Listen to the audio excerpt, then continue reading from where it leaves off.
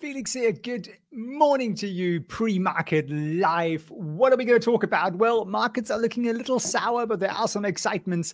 Uh, the headline is not intended to put out a crash video, but we should talk about what Morgan Stanley are saying. Before we get started, destroy that like button. Come on, you can do it.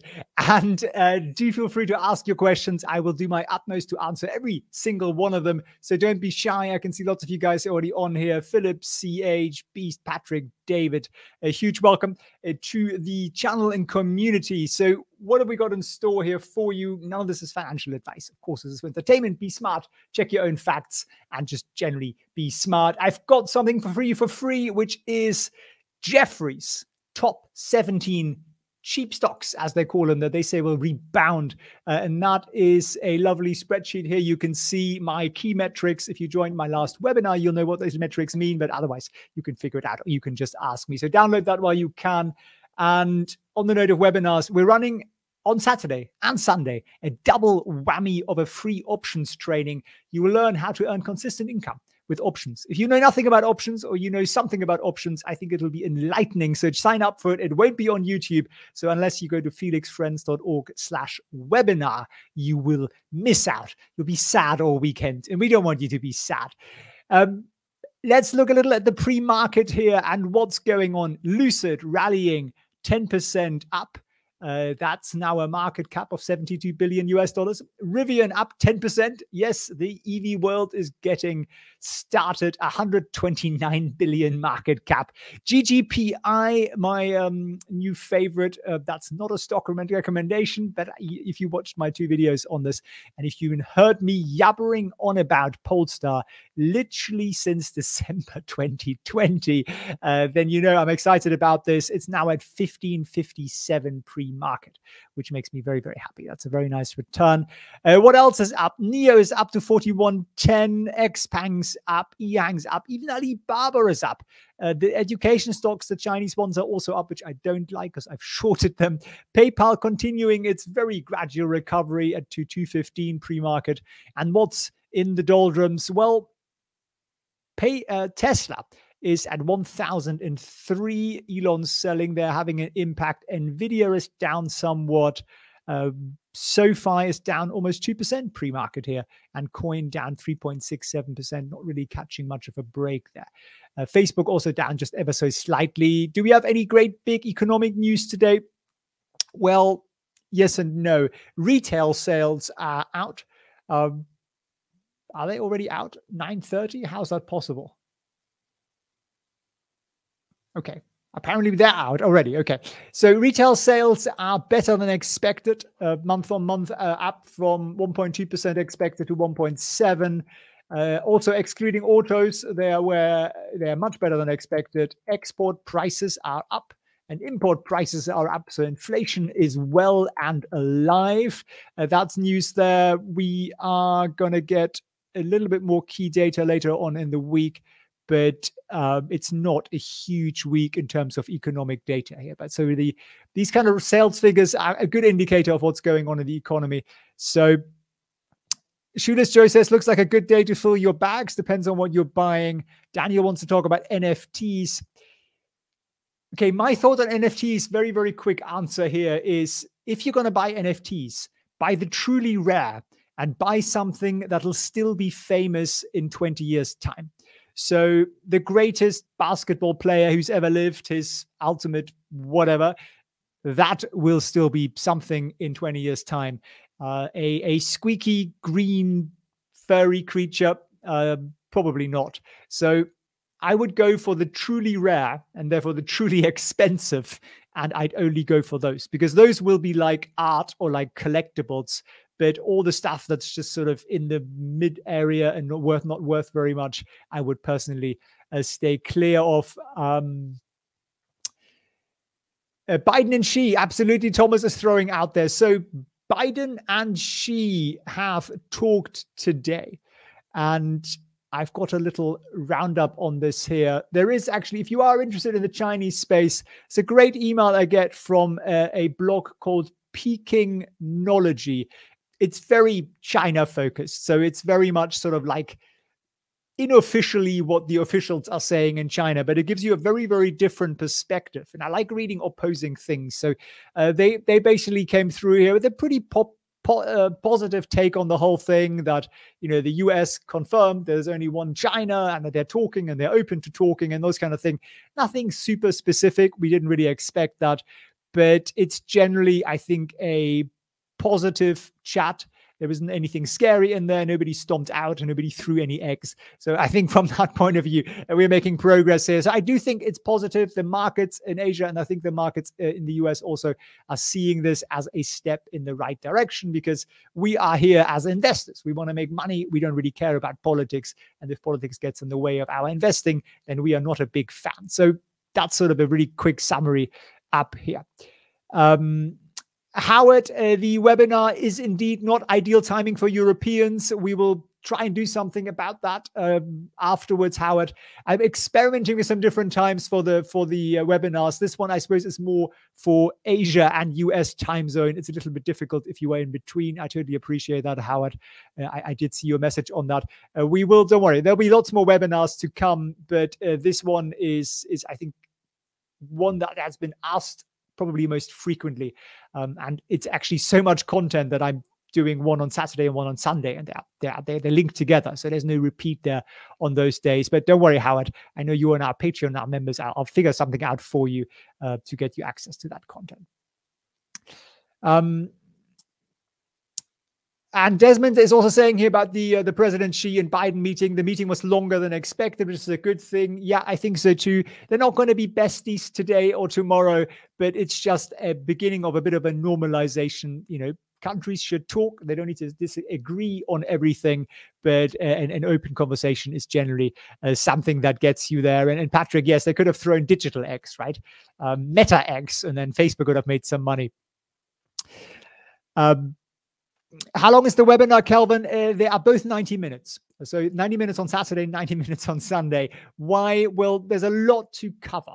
Uh, there really is a lot of ground that we'll cover because options are a marvelous thing. And I'm not going to tell you just, you know, about call and put options. That would be really short selling you here on this free webinar. We're going to dig much deeper into more complex strategies and look at um, a lot more how this is a sort of data driven consistent income churner, the kind of investments that I do.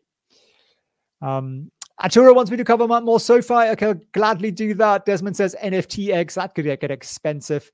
And um, cool, cool. Okay, great. Thanks for all the questions there. Uh, Leo Stasny is asking about LILIM earnings. I haven't looked at that, but we can do that in a moment here. Uh, so let's do a quick roundup of what's happening pre-market, and then we'll dig deep into some stocks and your questions. Um, okay, consumer sentiment has hit a 10-year low. So the markets are up, but your man on the street isn't really participating, or if he is, he's possibly buying the wrong thing, which is one of the reasons I put out tons of free education on how to pick good stocks. And you know, seriously, you shouldn't just put your money into Palantir and NIO. Uh, that's not a brilliant plan. You need to be a bit more diversified into great stocks. If you watched my last webinar, you will know a lot about about that. Um, I'm also launching free education, a free education academy for those serving in the armed forces and veterans. So that's that's here to come. Uh, that will be I'd like to say next week, but it'll probably take me a little bit more. It'll probably be launched in December. I think that's really the plan here. And I'm talking to lots of veterans and those actively serving, and it's going to be absolutely brilliant. We can do our bit and we can build a fun community and we can help people make a lot more money because if you work for 10 or 20 years in the military, you really deserve to be uh, retiring on a fantastic financial freedom package there.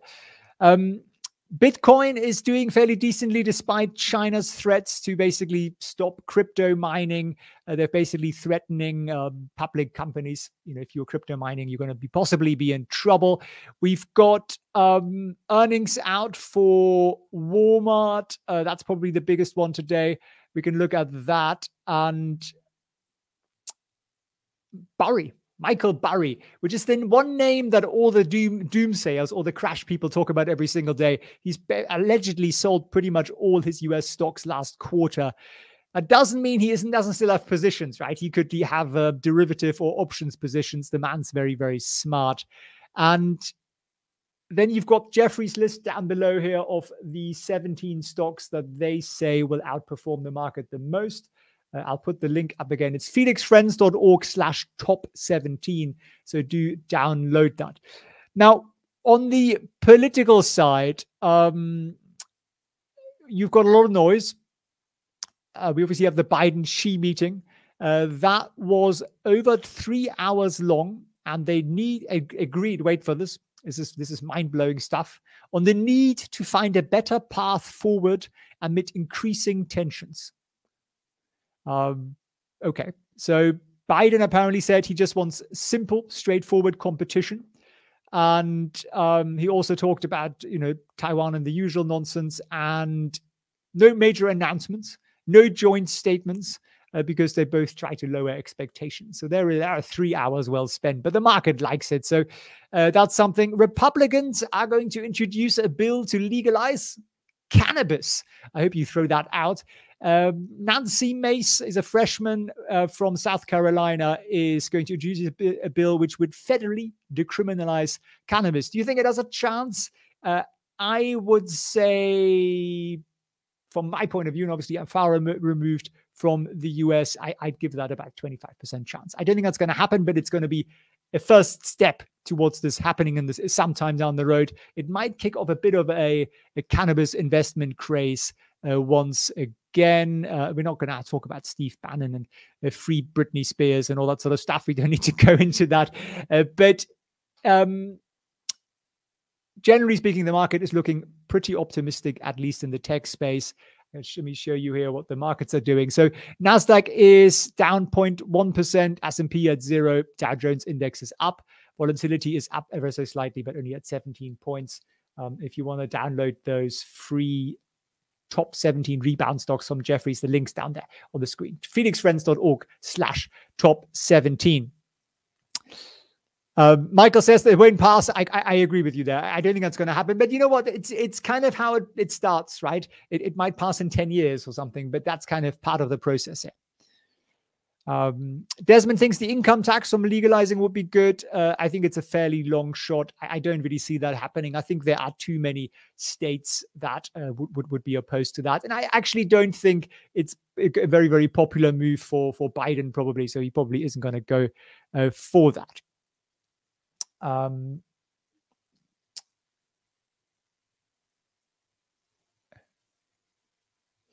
CH, okay, you watched the video I did with Popular Investor on. Um, uh, thank you very much. That, that was. Um, I appreciate you, you watching that.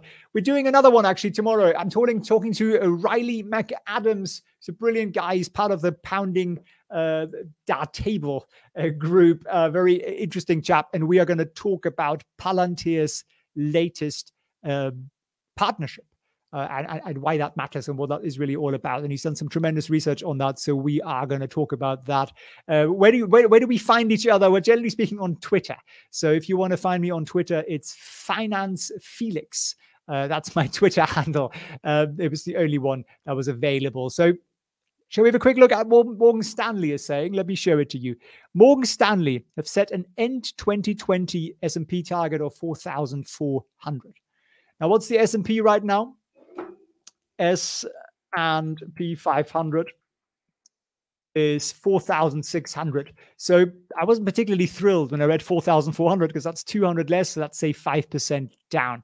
Uh, that's how they see 2020. So what? Why? Why would they say that? Now, not everybody says that. Uh, there are other analysts out there who are coming up with more positive numbers in the 5,000 range, but they are basically saying we're going to get more volatility earnings growth is going to slow bond yields are going to climb. You know they really haven't taken their their happy pills over at morgan stanley this morning.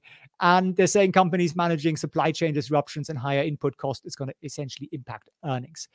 Uh, so they are underweight on the benchmark s&p index and they are therefore looking at a downside of about 5%. So if you are holding lots of S- SPY or S&P 500 um, index funds something to think about. What are they saying? Well, they think that Europe and Japan are going to grow most. Generally speaking, I'm not the biggest fan of foreign stocks uh, because do some charts and, and, see how abysmally European and Japanese stocks have have, have, have performed as a market. They're neutral on emerging markets. Um, they say there is uncertainty around expectation goes materially because of cost pressures, supply issues, uh, tax and policy uncertainty, and so on.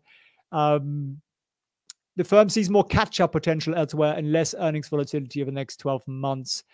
Uh, what do they like? Well, they do like healthcare, they like real estate, and they like financials. Um, those are the sectors that I like the most. They really don't like um, tech hardware. So tech hardware for them is the, is the, the no go. And what they're basically saying is that the whole, and I think that's kind of probably a reasonable statement here. They're not saying the whole market isn't going to rally up as much. It's going to depend on really individual quality stocks who, are going to outperform but the market as a whole isn't necessarily. Uh, and I think there could be some sense in that because if you look at the S&P 500, there are probably 30 great companies and then 470 that are ranging from average to really so-so. So if you've got tons of so-so and you've had this tremendous increase in valuation, you might get some dry years. So I think picking great stocks is ever, ever more important. Um, and that's also exactly what we cover in the seven figure portfolio program, which, by the way, I was launched, meant to launch today, but I didn't. And I'll show you why I didn't, but I launch it tomorrow. So tomorrow is launching, which means that 40% of pre sale coupon will vanish for good. It's the last time I'll talk about it. It's a promise. It's seven figure. It's the coupon. So do check that out. It's a completely risk free thing. Uh, do you want to know what I was doing today? Let me show you. Um, it was a lot more fun than well. I, I love launching programs and, and, and, new communities, I must say, but uh, I, I, also love doing this. So this is what I was doing today. I took Winston on a marvelous, beautiful hike. We did uh, almost 3,000 feet up today. Uh, can you see how steep that is and how happy he looks? He was very, very happy. He was a little hot, but he was very, very happy. And it was an absolutely beautiful day it was a little bit on the steep side there. You see this sign here? Uh, that's when you find good hikes in Hong Kong. This is what the signs look like. Uh, danger, uh, all the good ones do. Uh, and Hong Kong is actually a beautiful, marvelous place. Look at that. Look at all the islands and look at those mountains. So uh, that was me today, which is why that course is launching tomorrow, not today. Apologies to everybody on that program, but it's coming. It's going to be great. And it, it'll be a great community as well. So do join us on that if you haven't already. Um, William wants me to do classroom course options trading somewhere in the Caribbean. Um, you want me to basically come to Aruba and, and and struggle on the beach and talk about options. Is that, is that what you're saying? Well, I think given the um, present travel restrictions and so on that we have here, uh, I think virtual things are probably best. But do feel free to reach out to me if you want to organize something. Um, uh, Howard, yes, we can look at Wejo. Absolutely. I was looking a little bit at that today, actually. I do like it. What does Wejo do? I've done some videos on that, Howard, but finding them isn't necessarily that easy because they're probably uh, in my Palantir playlist, which is fairly extensive. So, Wejo, in a nutshell, provides data, data points for EVs or for cars, generally speaking. Uh, so, it's sort of a um, a little bit of what Tesla has done. But to catch up everybody else with where Tesla is, they are collecting millions and millions of data points. I don't know, 11 million a day or something silly. Um, and obviously, Palantir is a backer there.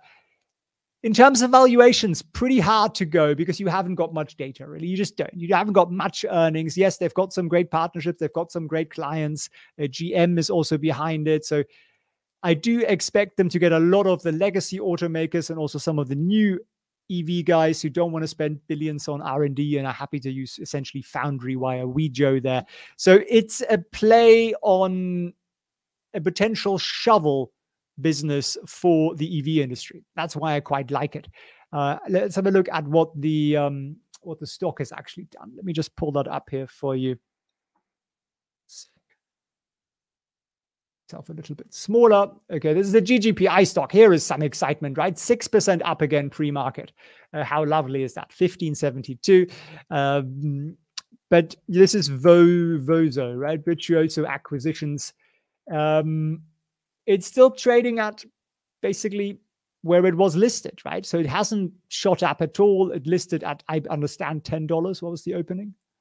Yeah, $10 and it's trading at 970 pre-market. So uh, nothing's happened to this stock at all. Uh, but then very, very hard, as I say, to put a valuation on this. So it's a little bit of a of a punt that Palantir have picked a good one here. I think that would be for me the the key thing. I've gone through the investor deck, deck I've gone through their numbers and valuations and stuff, but it's very early stage. It's very much sort of a private equity type thing. So you have to believe more in management, um, the partnerships, and and the story, and come to a conclusion on that basis. So would I throw my life savings at this? No, uh, maybe a small punt might be worthwhile. It's still trading below $10, surprisingly. Uh, David wants to look at the dark pool indicator. We can definitely do that today. Uh, hello, Guy, AT, and Joe. Um, Joe says Icarus needs to watch out there if you are up to speed with your Greek classics. If you go too close to the sun, you know, you you melt. Well, I think it's just American investors are excited about putting their money into another American EV company. I think that's really what this is all about. We've got Lucid up here 10%, Rivian up 9%, GGPI up 6%. Um, Peloton, by the way, making a bit of a recovery here, up 3%, Uber up 3.7. So the market is just bullish. I mean, Xpeng is up 1.9 and NIO down here also up to 4088. So people are just bullish on the space. I think that's really what this is about. Uh, Lucid is saying, uh, sorry, CH is saying Lucid is also a Wall Street bet st- uh, uh, stock. I'm sure there is some part of that. People are also trading this and swing trading this and doing all sorts of uh, crazy stuff with that. And always bear in mind, if Wall Street bets is on there, it also means that all the hedge funds are in there, right? They're using that as a bit of a cover. Um, Uh, Arturo is bought some SoFi. Okay, let's have a quick look at SoFi. Have a look at the chart here. Uh, you've got a buy order at 2135. Okay, I, I hope you get filled on that because that's a fairly substantial drop from where we are.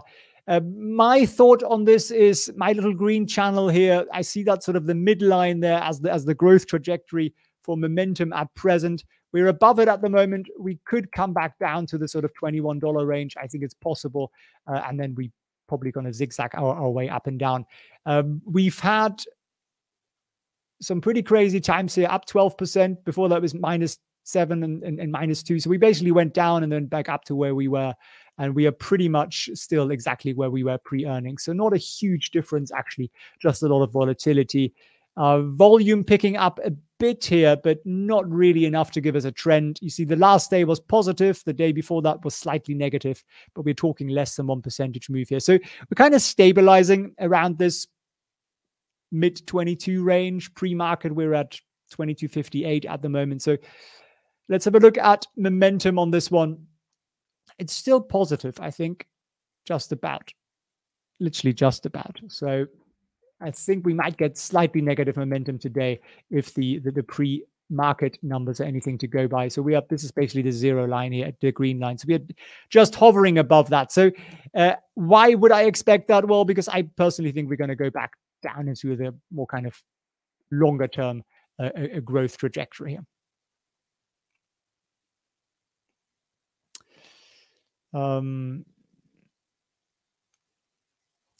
Okay, you love Winston. Uh, thank you very much. If you just joined, Winston is a lovely little rescue golden retriever. Here he is. Look how happy he looks sitting on that mountain. But you can see the drop as well, right? So he's got this uh, hiking harness, so I can carry him. I had to carry him once or twice today because it was about 10, 12 feet drops. And then we have to kind of pass him down man to man. Uh, but he's very, very cooperative, which is which is lovely. So Angel, do you think GGPI is going to hit 20 by Friday? I don't know about that. Uh, I do think, personally, I am very bullish on this, but I think it's, you know, there are some big announcements coming. I know the the car show in the US is, is taking place in November. Uh, we expect the Polestar 3 to be announced, which is going to be the, the American made SUV. Uh, and then, you know, they're going to put out bits and bits of more information and more PR, more numbers, more financials. Uh, maybe they'll wheel Leonardo DiCaprio out because he's a shareholder, and, and you know all those things. It takes a bit of time to build that, but they have definitely managed to break out of the nobody knows about this except for me talking about this for the last what is it now 11 months and uh, a few people listening uh, so i think this is going to be a little bit more gradual. Pre market is up 5%. So I wouldn't expect us to do another 15% today. I think people will also take some profits. People have learned from SPACs. Uh, and we are going to want to see this kind of go up a bit more gradually rather than this sort of complete insanity. Uh, I personally wouldn't be surprised to see this at 20 or even 30 dollars but that's not financial advice uh, that's a high high high risk bet why just if you look at the um, the market cap multiples so Lucid is 72 billion here market cap. Rivian 129 billion, both with virtually zero sales, and then GGPI is essentially 20 odd billion. Um, at 15, I guess it might be 30 billion now. So, you know, you could see why that might go to 40, 50, or 60 or 70 to kind of meet meet Lucid because they've actually got 1.6 billion US dollars in revenue this year forecast. So you know, it's a little bit of a different one here. Uh, Leo, if you want to know what I think about that, what I'd suggest you do is I've got two videos out on this. So if, you know, YouTube in its infinite wisdom decides to load the web page here, I'll, I'll show you what they are. Uh, what's going on with YouTube? That's very surprising, isn't it? Now, here we go. So Felix Polestar add that in, and there you go. You get two picture uh, videos here. The first one is my IPO uh, sort of uh, full takedown of financials, investor presentation, and everything, and, and comparatives and things. That was a month ago, and then I put one out two days ago uh, with with a bit of an update on on where we're heading here. So those are basically my my two views. But I have been talking about Polestar for absolute ages. But uh, yeah, so watch those two. Just type in Felix Polestar, and, and you'll find it. Phil, what UK shares do you feel worth looking at? Uh, Phil, almost nothing, I- am afraid to say. And that's not me being uh, anti the UK. I love the UK, but let me give you a, a reason why. So if you look at the SPY, the US S&P 500, compare that to the FTSE 100, which is the UK sort of equivalent um, as an index. Can we find that? Uh, iShare, iShare Core, FTSE 100. Okay, so let's look at that. And I'll make these both lines so it's a little easier for you to see. And they're both blue. Isn't that always marvelous? I don't know why it always does that. So I'm going to change the colors here. So we have in blue the S&P 500 and in red the FTSE 500. And now I'm going to go back in, out in time a bit. Okay. So this is from 2014 onwards, S&P 500, 150% up. FTSE is up 6% and go back in time and the, and the gap just widens basically. So generally speaking the um, uk FTSE 100 is a pretty horrific index. I really wouldn't put much money into it. And you know i'm i'm german right? I don't invest in the dax because again it's pretty horrific. I can put that on there too. It might give um, our uk listeners a bit of uh, bit of pleasure. Um, here's the dax. Okay a little bit better but still up 200%, S&P is up 300%. So I'd rather take the extra 100%. So generally speaking, the world's largest stock market will outperform the smaller ones. Why? Just makes sense, doesn't it? All the money wants to go to the US. All the big banks are American. Um, all the biggest investment funds are. The biggest pension funds are. The biggest hedge funds are. And that's where money goes. So therefore, US listed stocks tend to get higher valuations. So I feel I would personally not do that. Uh, I do actually throw lots of money at a UK fund, which is called Fundsmith, which I think is the best thing since sliced bread. But they invest in American stocks. 90% of their money goes into American stocks. Um, Renee wants to go to Aruba as well. That'd be funny, wouldn't it? We can we could do um do an, uh, an Aruba party. Um, William says, uh, you, you think Rivian is a fake bubble, NIO struggling to take off? I wouldn't take it quite as harshly as that. I do think there is a huge space, a huge demand, an uns, you know, satisfied demand for more American EV companies. Everybody wants to find the next Tesla. Uh, I have all reasons to believe they're going to put out decent cars and they're going to sell them and they're going to maintain them and they've got good investors and good backers and they're going to do all the right things. Our valuations uh, rich, as Kathy says, yes, definitely. Um, and of course, compared to NIO, NIO looks very, very cheap. But you know, it's the world we live in. It's not always fair. It's a lot about momentum. So there you go. Now, Shazad, very smart question. What happened to NIO yesterday? Okay, let me show you a little chart here. Um, here we go. So this is institutional ownership of NIO. And oh, you can't see it. there we go. I'll put out a detailed video on this as well later. So if you are properly interested in this, but give, let me give you a, a short sort of rundown. And let me get a little eraser first and I'll get rid of a lot of the stuff here. So what have we got? We've got can you see that green line here I'm pointing at? That's institutional ownership of NIO as a percentage of shares owned. And you can see that's gone from 20 to about 17 in the last year. So institutional ownership is falling, and that's not a good thing. And it's not just falling in percentage terms, because you might you might think, which is why I, I thought I thought, hang on, hang on, is that just because of dilution? They're holding the same amount of shares, but they're being diluted out. Uh, sadly, not so. Uh, in fact, the nominal, so the you know, actually the number of shares that they own it, it, altogether have fallen as well. We've gone from 308 million at the beginning of the year to now 290 million. So institutions are not putting their money where their their their mouth is. With all those marvelous price targets, they're putting less money, well, less shares and less percentage ownership into NIO. So that to me is a big factor because otherwise we've had upgrades, we've had lots of marvelous things. I shared that with you also on the on the Discord. You know, we've seen some of the price targets here. Uh, where are they? Um, this is our Discord. If you're not on that, you can join through the uh, Patreon community. You know, Citi $87, Morgan Stanley 80, Deutsche 70, JP Morgan 60. We've got CITIC out today with a price target of $56, which is um, here is our summary. This is this file. You can find that on the Patreon, the NIO deliveries, earnings, and ratings tracker. And then you can see all the price targets from all the different bankers and dates and so on. And that gives us a 55% upside, but they're not really throwing their money at it, right? So that's therefore a bit of an issue. And it's something that's concerning a little. It is. And we should keep an eye on that.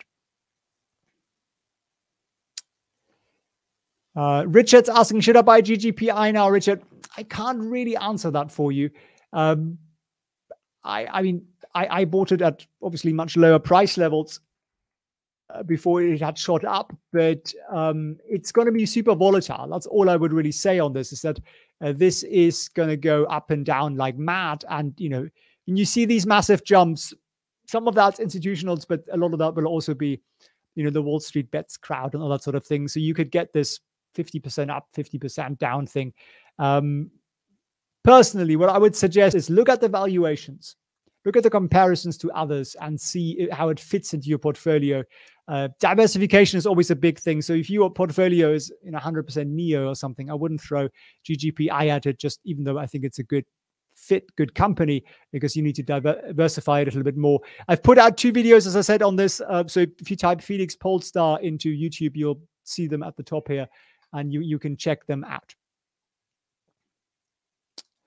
Uh, Silent X, the Big Bear AI deal. I like it. Uh, to me, essentially, I like all of these partnerships. It just gives Palantir access to other people's customers. I like those. I'm doing a full conversation and discussion on that tomorrow with Riley McAdams. If you don't know who he is, uh, he is part of the Pounding the Table community. They do great podcasts uh, and uh, very active on Twitter as well. And he's done some great research on that. So we're going to really dig deep into that Silent X. So um, tomorrow, shortly after the live stream, I'll, I'll put that out. We'll, we'll do that tomorrow. So uh, join me for that tomorrow. And if you aren't subscribed yet, you will miss out. So make sure you do that. Danzo says Lucid one car of the year. Well, I mean, I wouldn't buy a stock on the basis of that, but it is good for them. It's good PR. It's a well done uh, Lucid. Uh, Philip is picking up more PayPal. So PayPal obviously had a pretty horrific run. Uh, it seems to be stabilizing somewhat, right? Uh, we are seeing a little bit of a recovery here. Get over the percentage points.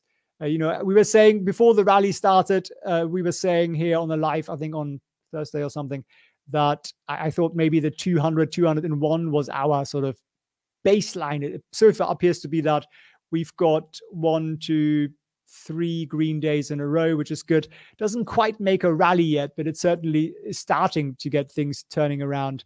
Let me look at an indicator here. So can you see this little purple line down here? That needs to creep up over this dashed line to give it a real buy signal from, from Williams R. So another, you know, two, three percent up or so, and we might actually get there. Um,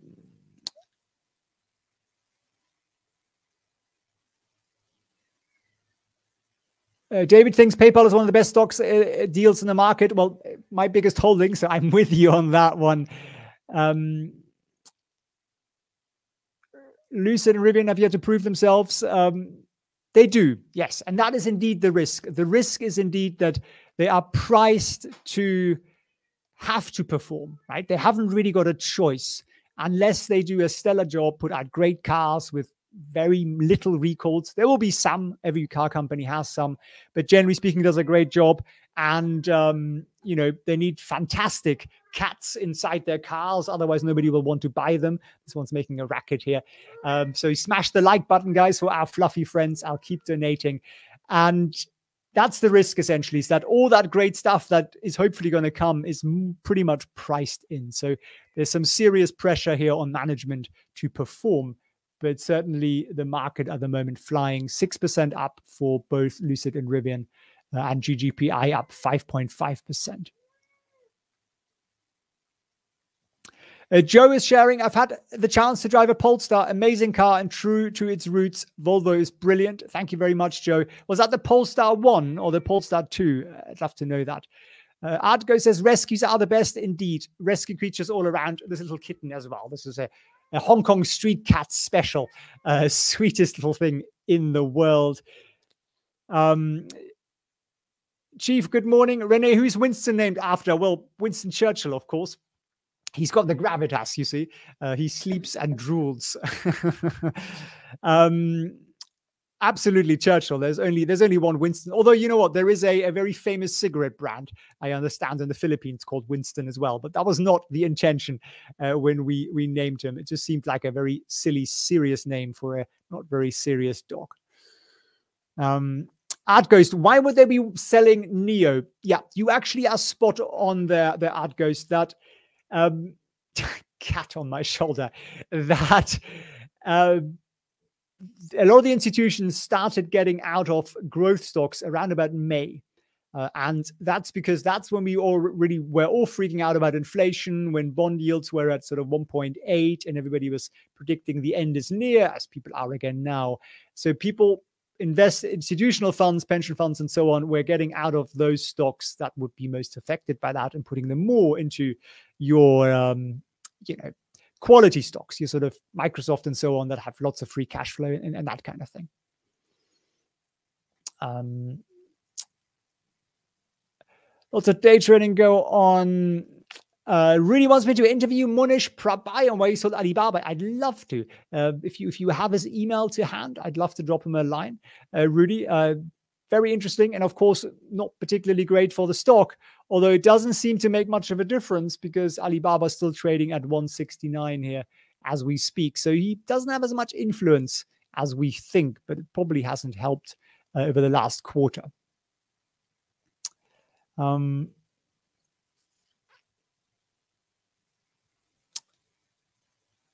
Tesla goes up, NIO goes down. What's wrong with this market, says David?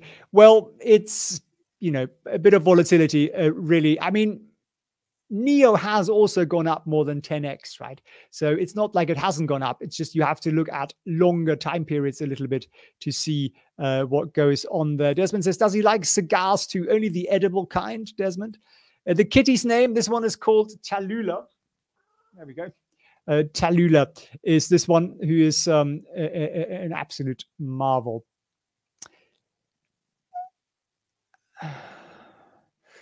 Full Joker saying, How do you feel about cruise stocks? Mm, not a huge fan, to be honest with you. Anything that involves very large items made out of steel, like airlines and those kind of things, I'm generally not a huge fan. Very cyclical business as well. Mohammed is saying Tesla is green again. Let me have a look.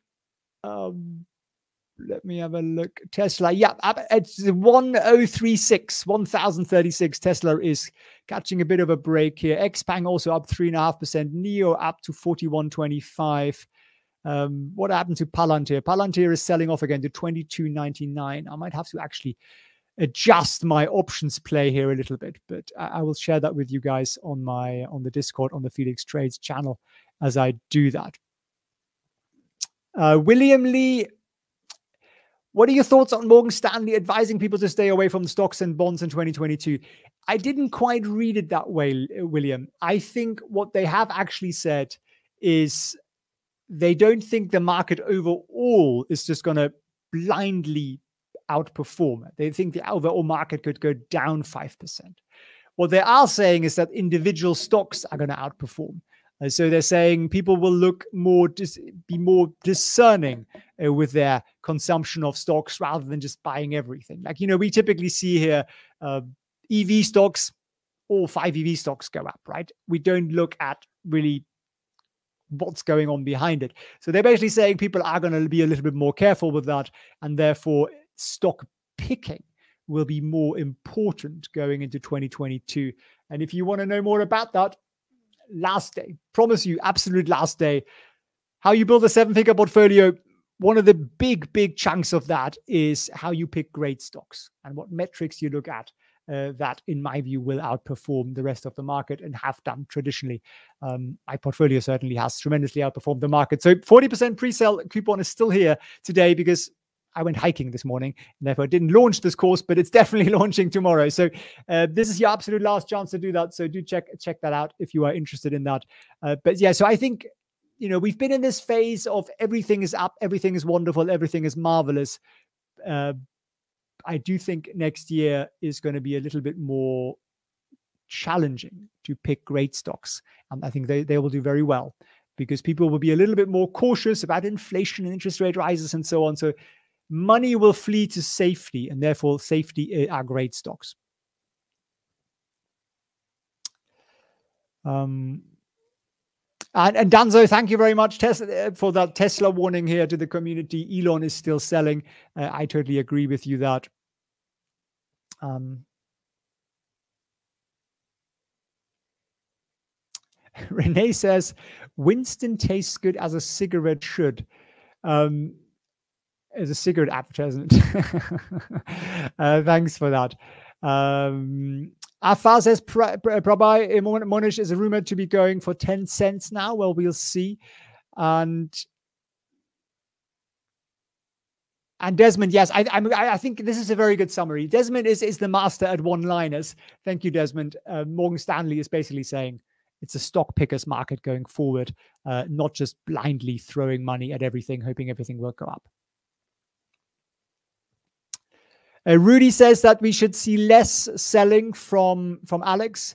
Uh, I generally agree with you on that, except that towards 2029, 2030, you are going to see a lot more selling because that's when they all expire. But I can show you a little chart here. Let me just open this up. And you can see uh, what insiders are doing. So insiders actually, this are Palantir insiders after the IPO, of course, it dropped, and since then it's actually increased. So from the beginning of the year, insiders owned 1.06% of the stock, and now they own 1.2%. So it seems to be leveling out at 1.2. They now own 23.35 million shares. So three and a half million shares more than at the beginning of the year. Uh, and you can see here what the breakdown is. Uh, Peter Thiel, Alex Karp, David Glazer, Shyam, Alex Moore are basically the bank of bulk of that here. Uh, Alex Karp owning 6.4 million shares there.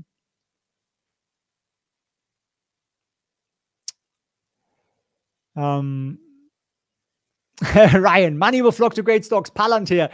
Uh, I, I love that you think that, uh, Ryan. I do think Palantir is a great stock, but it at this point doesn't quite yet have the financials, the metrics to back it up. So no, I actually think money will flee more into things like Microsoft, you know, that have the great return on, on capital employed, that have great big free cash flow, uh, high multiples for interest coverage, very steady, very stable earnings growth. Uh, you know, those kind of stocks, I think, is where the money will will will likely run to. Uh, Piers is saying, do you think Apple missed the boat with the EVs? Not necessarily. I mean, the brand power of Apple is such that they can catch up very quickly. So they're not, you know, if you if you now launched the the, the car, uh, then it, all due respect to you, it will probably take you five to 10 years to build that brand. Apple has already got the brand, they certainly have the money. So there is a chance there. I think if they are going to partner with somebody, I would still think they are looking at the uh, sort of Foxconn type world, which is who they're working with right now. But they've talked to CATL apparently, which is the largest battery manufacturer in the world who supplies Tesla and NIO and everybody else. And they said to CATL, "Will you build a plant in the US to build batteries for us?" And CATL said, mm, "No." And I think that's the problem they have. So they need a battery partner who's able and willing to supply them, and they want to build it in the US because it makes sense to build it in the US, right? Um, uh, Desmond, yeah, Desmond is right. You know, there's a there's a limit of uh, if, if your income is above I don't know 122 thousand dollars or something, you can't put money into Roth IRAs, right? Well, there's a backdoor a way into that. So Peter Thiel has found that backdoor, and he's got billions in his Roth IRAs. Um,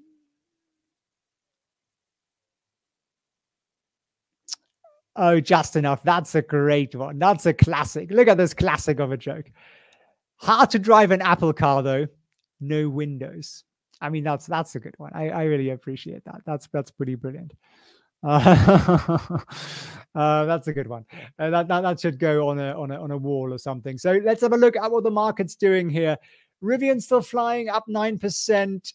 Lucid up six percent. Peloton up six and a half percent. Recovery there. Tal inexplicably up 4.8%, Uber up five and a half. PDD is up uh, Polestar, which is GGPI, is up 3.76%. So at 1534. So it seems to be kind of like stabilizing here at around $15 uh, before I think it, it might take a another stab at the $20 range. A pretty green market overall, except SoFi down 4%. We'll have to have a look at why that is. And Palantir also inexplicably down 2.5%. Don't really know why. Is there any news on SoFi. Let me have a look.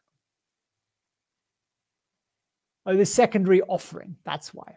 Yeah, yeah, yeah, yeah, yeah. Um, so SoFi is offering stock a secondary offering by selling stockholders 50 million shares by selling. So this is not dilutive. This is not going to cause dilution it just just means that 50 million shares will be sold. So they have to find some buyers for that. So that's going to put a little bit of downward pressure on there. I'd love to know who those stockholders are. Um, oh, it's SoftBank, right? Silver Lake Partners, Qatar Investment Authority, Red Crow, uh, Cha Cha Cha SPAC. So these are basically um, private equity investors, right? They want to get their money out.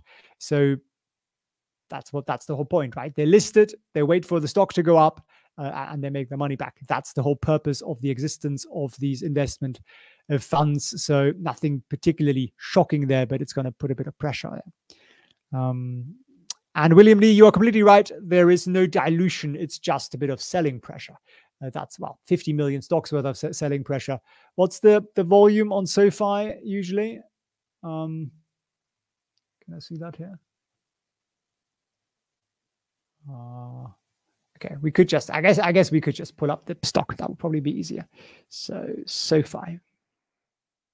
SoFi Technologies volume is, I'd say, on average, probably about 20 million or so. It's about two and a half days of, of volume.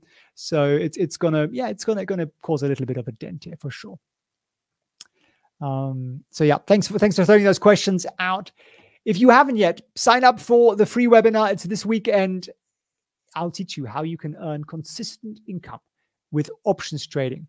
Uh, it's a two part webinar. It's completely free, but it's not on YouTube. So you have to register for it. So go to felixfriends.org slash webinar and sign up. Otherwise, you'll be missing out and that'll be, be terribly sad. Uh, so we wouldn't want that now, would we? Uh, we also have Jefferies, top 17 stocks uh, that they say are not just cheap, but that they believe will rebound. Uh, so download that. It's a free uh, benchmark here. If you are on the Patreon, uh, you have access to this already. You don't need to sign up. You just go on the Patreon uh, and you get it. If you aren't, just go to felixfriends.org slash top 17. I try to put out something useful and free pretty much every single day here on this channel. So if you watch me a lot, you'll you'll get a lot of these benchmarks, but I think they are very useful. What do I normally do with them? Well, to start with, click on File, make a copy, and then you can edit it as to, to your heart's content. Uh, I like to put a little filter on these, so you highlight the area, click and put a little filter on this here. And then for me, the number one thing is always return on capital employed. So I generally sorted by that. And then that typically puts the greatest companies at the top. So Logic, Virtu, Lithia Motors, and you can see their gross profit margins. They're looking pretty good here. Virtu Financials looks quite interesting, actually. Uh, hugely free um, free cash flow margins. Long term earnings growth not great, five percent, but pretty steady. But yeah, so that's a little bit the, the, the issue there. Financial leverage is also very high, but that's that's a financial company then. So you know, look look through some of these and and and think about what this is all about. Do a bit more research. Do share it if you're on the Discord community. We'd all love to hear what you think.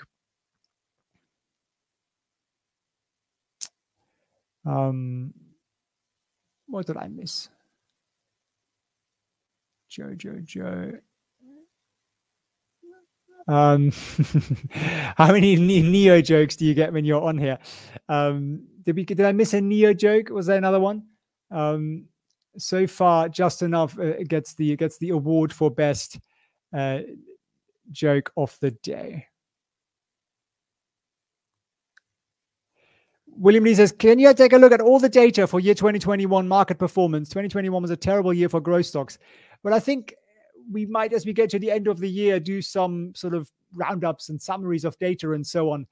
Um, was it? Well, it depends on what you mean by that, of course. I mean, if you look at QQQ year to date, not too shabby, right? It's percentage points 27%, which by my metric is a pretty good return because if you compounded that and you managed to get this over time, you'd probably be up about 60% each year. So if you did this over like 10 or 20 years, you you know, making doubling your money every year and a half or something silly. So it's that, that's actually pretty impressive. But of course, in the QQQ, they're not all sort of your classic growth stocks. Uh, we've basically got the inflation fears in. We also had a massive rally last year from COVID to um, you know end of the year. So when you you know start here, whoops, can I have a pen, please?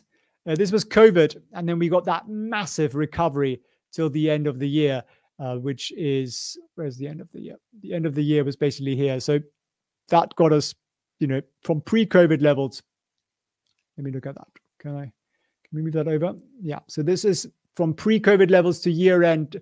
It went up 32% last year. So it went up another uh, 27% this year. So pretty extraordinary performance, really. Stefan, you were the dentist. I hope they treated you kindly. Uh, great of you to join us.